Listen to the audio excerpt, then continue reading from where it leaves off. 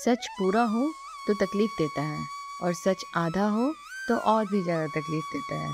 Hello दोस्तों, आज की कहानी सच और आधे सच की।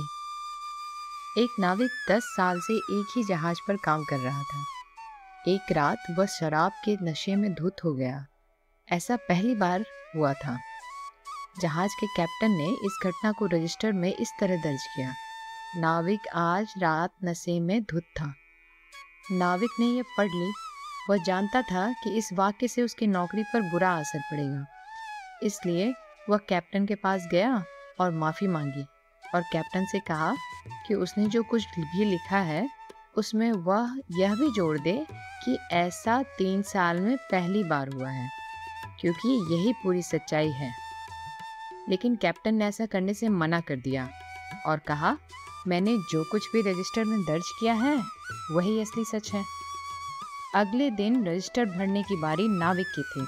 उसने लिखा, आज की रात कैप्टन ने शराब नहीं पी।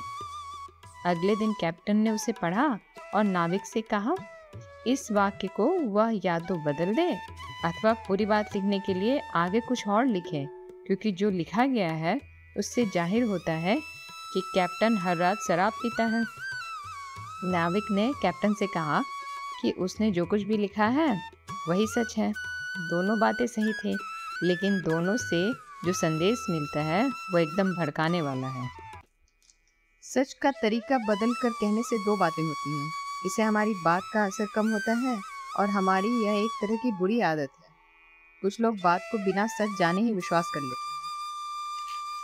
तो दोस्तों, हम किसी की भी बात सुनकर किसी बात का निर्णय ना लें पहले पूरी बात को सुन, परख लें, तभी किसी को कोई निर्णय सुनाएँ। क्योंकि सुनी हुई बात और लिखी हुई बात में बहुत फ़र्क होता है और आँखों देखी बात कुछ और ही होती है। पहले दोनों तरफ़ की बातें सुने, तभी कोई निर्णय ले। तो दोस्तों, कैसी लगी आज की कहानी? प्लीज़ मुझे बताएँ और अपना ध्यान रखें। बाय।